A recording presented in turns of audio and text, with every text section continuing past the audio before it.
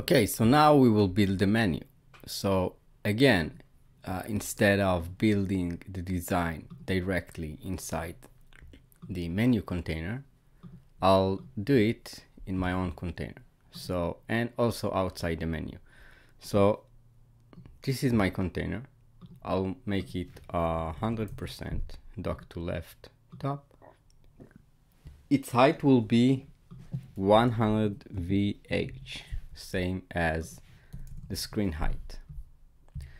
All right, and now I'll give it our background color, uh, which is kind of black, same as in the example, something like this. So this is what we are building right now. So you can see as I open the menu, these elements, uh, the toggle menu button and the logo are placed exactly at same place, at same location. So but here it's white. So we'll do exactly the same. We already created our menu. So what I can do, I can copy this one. And this is one of the advantage, advantage that I wrap everything inside a container and placed it inside my container. And dock it to left top. Where, where is it?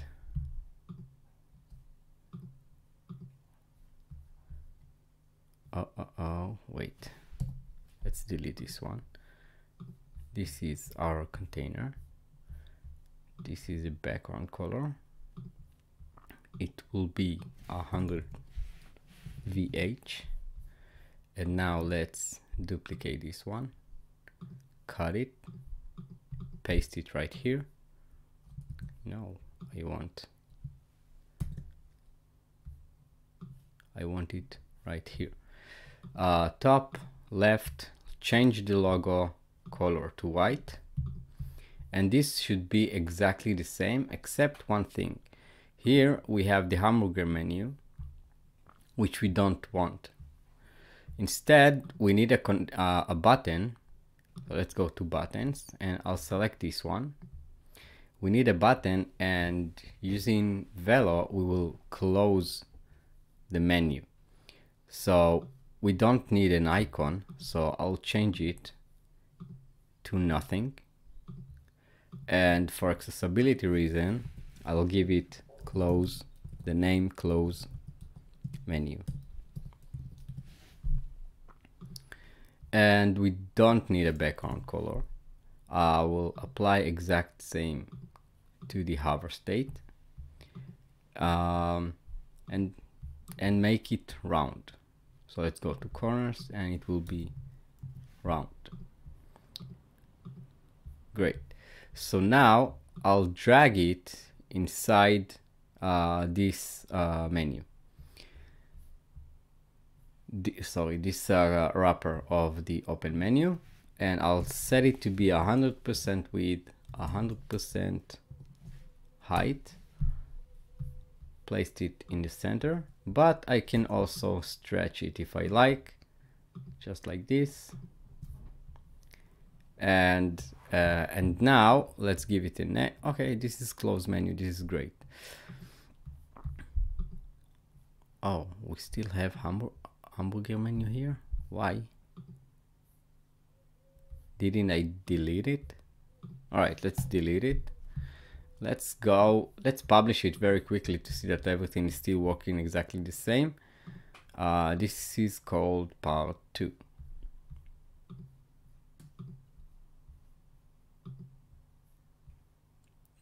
great.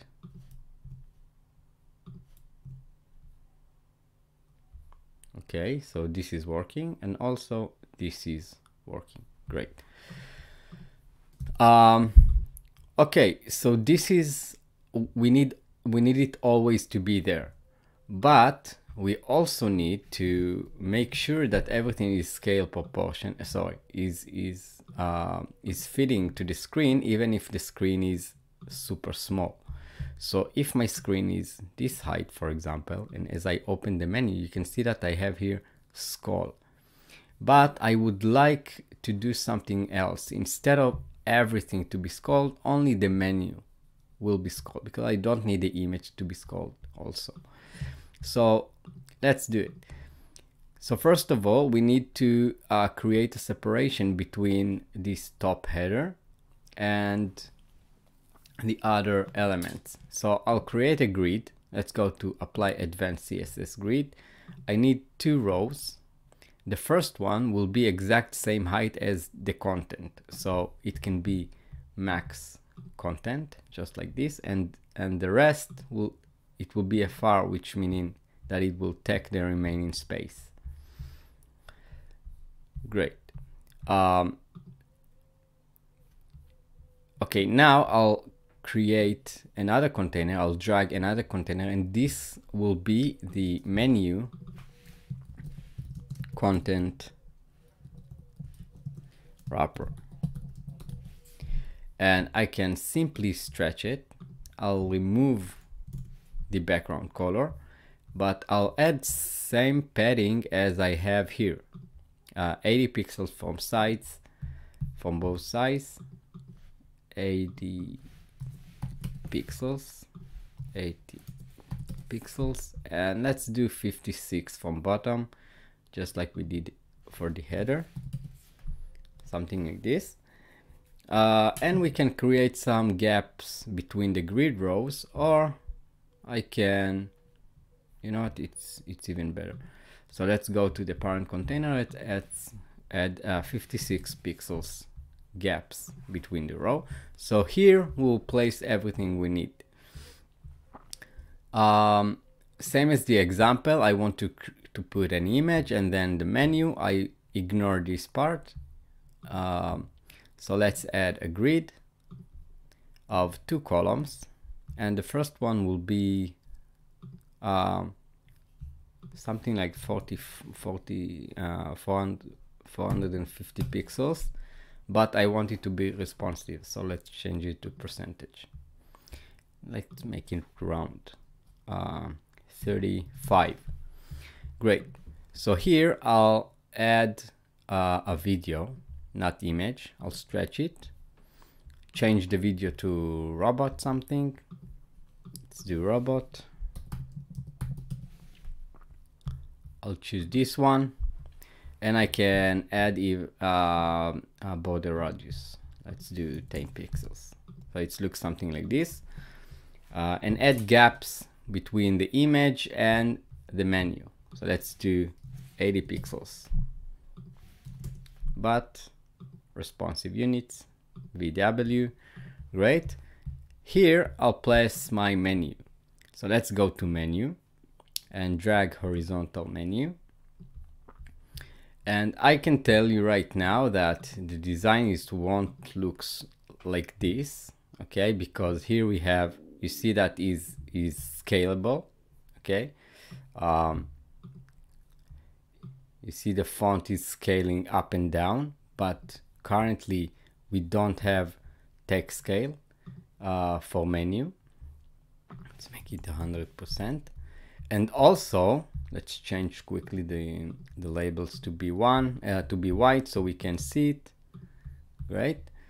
um, and also you can see that we have two columns of uh, of content which we also cannot do in in the menu but um, uh, this will be another tutorial how how can we animate the menu.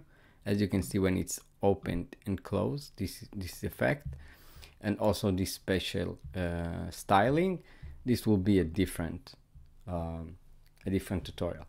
But just for this example let's make our uh, menu item very big 80 pixels um, change the font to Wix Madefor uh, Wix text bold and I'll just make the alignment to left. And uh, I want for this example right now I want like one item uh, in a row okay something like this. But look what's happened. Now the menu is bigger than the screen height so we need to be able to create a scrolling and not make the design stretched so what we are going to do because we want we first of all, we can select the container and make like uh, overflow content scroll, and then we will have scroll inside. But you see that the image is also scrolling, and I don't want it. So what I will do, I will wrap this menu inside a, another container. I'll make it 100% and its height will be also 100% but with overflow scroll. So what we will get here that only this area is scrolling. So let's go to the publish site and see how it behaves. So you can see that I have here scrolling. Oh, this is not good. Let's see why. We have empty space.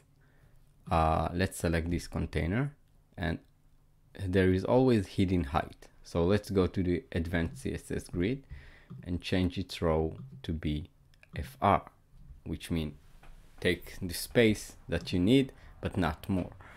Uh, all right, so let's refresh it again. And now you can see that we have tiny scrolling inside. We can manually reduce the height.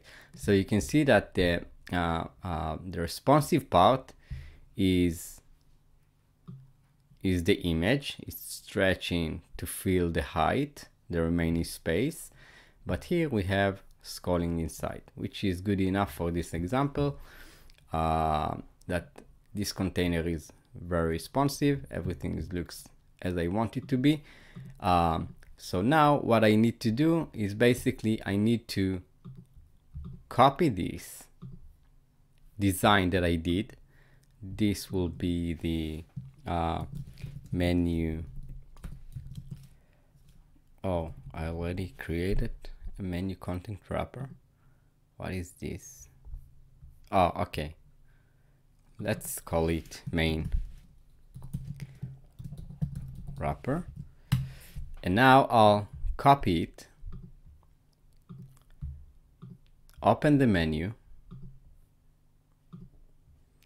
And first thing I need to make sure it's not its width this is menu container. Its width is now is 40 uh, uh, sorry uh, 450 pixels. I'll do it 100 VW so it's take the entire screen. And I'll pay I will remove the background I don't need it. And I paste my design inside the main wrapper and place it correctly. It should be 100% width and 100 VH height. Okay? Something happened I think to no it's good. It looks good. So let's publish it really quickly and see the live site how it looks when I'm opening the menu. So we have it right? We have our design but look I cannot close the menu right now. But for now um, we can we can delete this container because we don't need it. So this is the end of part two basically we build the menu. It's not responsive yet I know. Uh, maybe we'll do it on, at the last part.